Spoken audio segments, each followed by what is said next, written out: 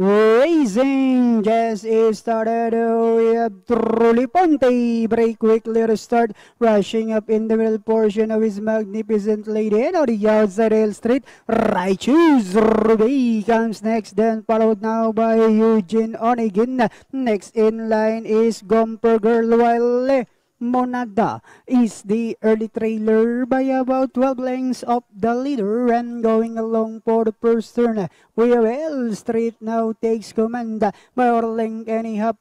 Moving up now on the outside is Righteous Ruby. Magnificent ladies running by the rail third. And in port now is Truly Ponte. Then next in line is Eugene Onegin. Then followed now uh, by Lemonada while Gomper Girl now racing in last. Back to the leader. The now belongs to Righteous Ruby with a breakaway run by about four lengths. And in second is Magnificent Lady.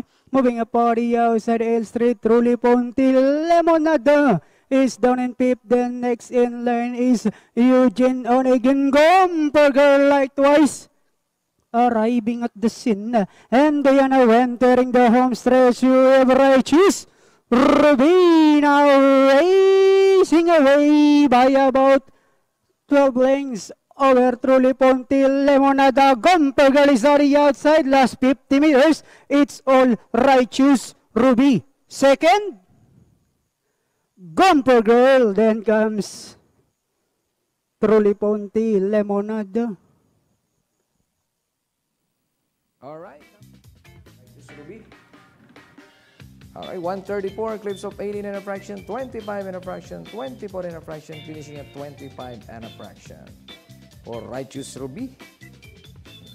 Hindi tayo fast track partner. Uh, sa unang 34, matulog.